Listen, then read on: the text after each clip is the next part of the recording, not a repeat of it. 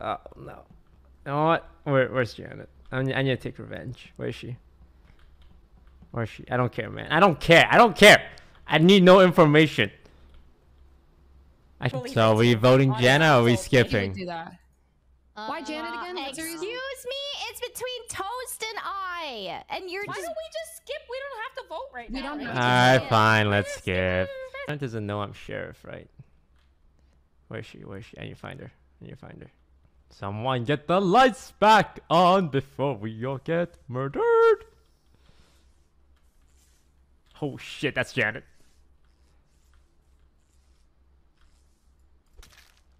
I like Not a good I kill. killed That's not a good Janet. kill. I, I think it was actually oh. Toast. Yeah, I think it's killed her. Toast too.